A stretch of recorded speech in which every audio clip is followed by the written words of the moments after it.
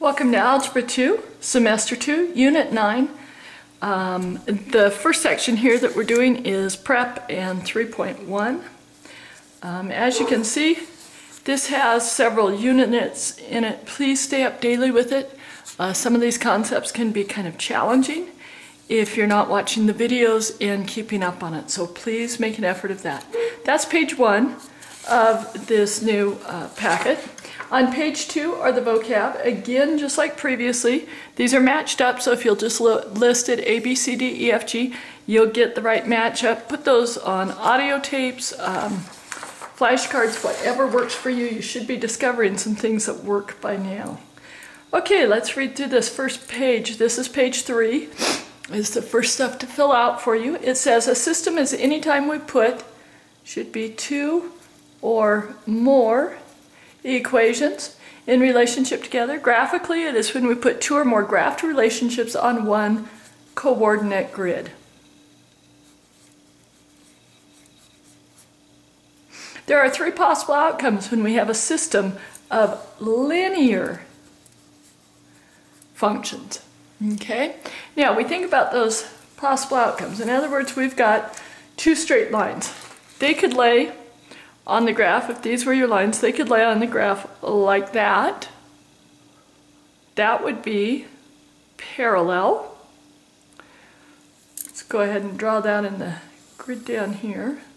They could be parallel. The other option would be the obvious one. They could cross at one point. Actually, I'm going to draw that over on the second graph here. And then the third one isn't as likely to be thought of right away, but it's when they slide together and they just lay right on top of each other. And that is drawn like this when we put two arrow tips on one line. Now, if the solution to a system, solution of a system is the point that makes each equation true, that would also be on the graph. It is the point that is true to both lines. So in this situation, we have one solution. If you look down here, it says one solution. Here are two other names I want you to associate with that. First off, it is consistent, meaning it does have a solution. There is something that will consistently solve each equation and a point that's consistently shared. Now, other than that one point, these lines are very independent of each other. One goes one way, one goes another. They could spin all around, but they would share that one point. It would always remain kind of like a fixed point on a pinwheel.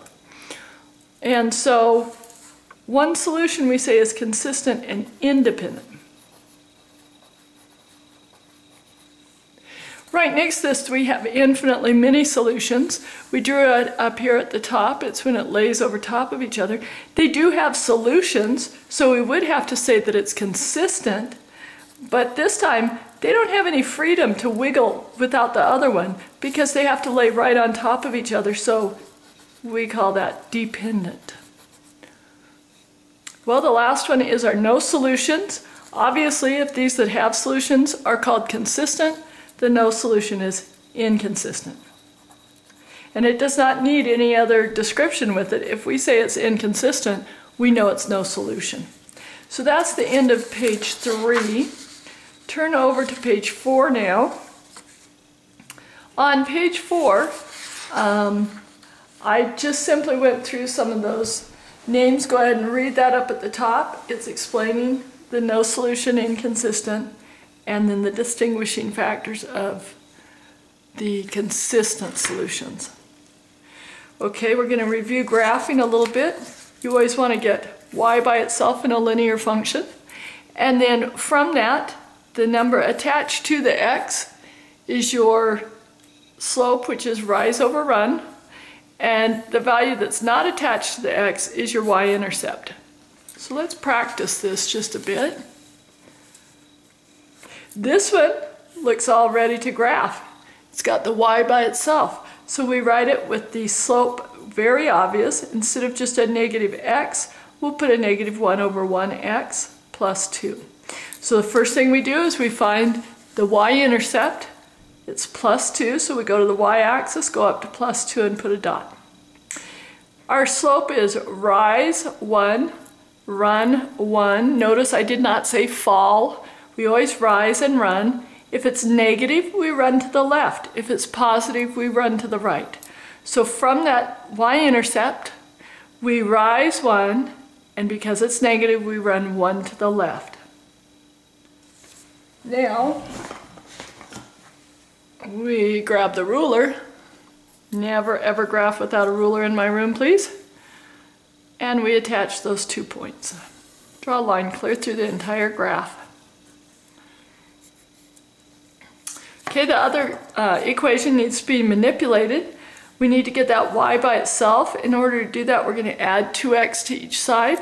Sorry, I'm off the screen a little bit. In order to do that, we're going to add the 2x to each side. So we have y equals plus 2x plus 5. So our slope is a rise of 2 over 1, and we go up to 5 on the y-axis.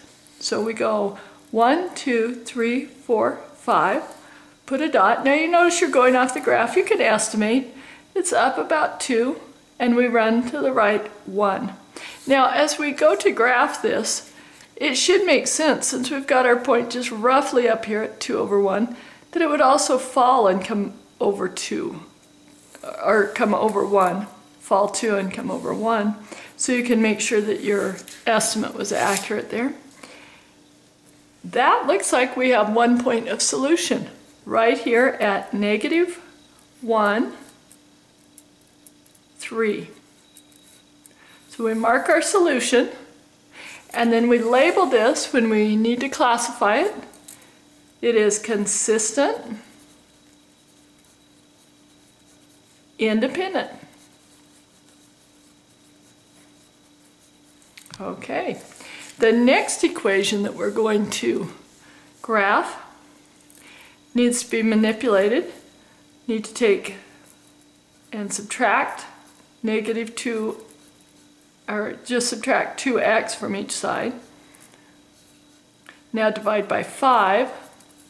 That should all be review. If you're having trouble knowing how to get that y alone, please come see me or work with another student in class.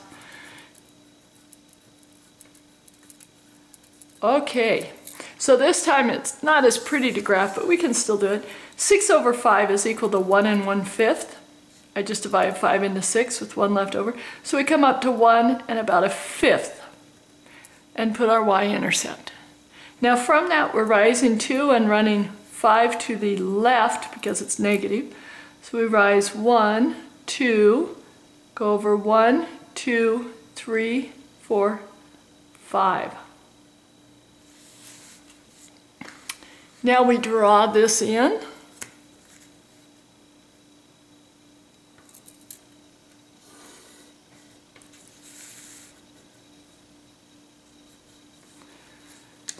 The next graph, we need to manipulate it as well. So we subtract 4x from each side, and we get 10y equals negative 4x plus 12. Now we divide by 10. We get y alone finally. Negative 4 tenths can reduce to negative 2 fifths x. 12 tenths can reduce to 6 fifths. And if you notice, we have an identical equation to that one. So these are the same line. Just add the arrowheads. And over here we say that this is consistent because there is a solution, but now this time it's dependent. Okay? Next page, page five, we have one more set to graph. We need to get the y by itself. So in doing this, we'll subtract 3x from each side, so we'll have negative 2y equals negative 3x plus 10. Now we divide by negative 2, and we get y equals negative over negative is positive, 3 halves x. Negative 2 goes into 10, negative 5 times. So we come over and we graph that. We go to our y-intercept at negative 5. And now from there we rise 3 and we run 2 to the right because it's positive. So we rise 1, 2, 3, 1, 2 to the right. And now we draw our line. The other equation that we need to uh, graph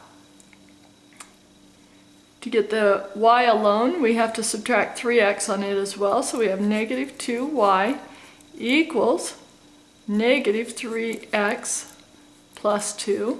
Now we divide by negative 2 on everything.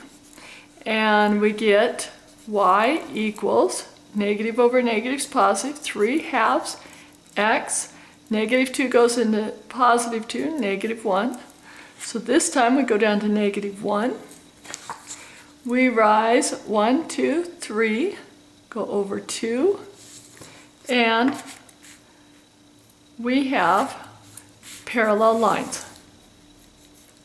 You could spot that in our equations when they have the same slope they have equal slopes but different y-intercepts. And right there you could have said, oh, this is going to be inconsistent.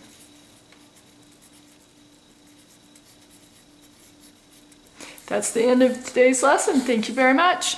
See you tomorrow in class.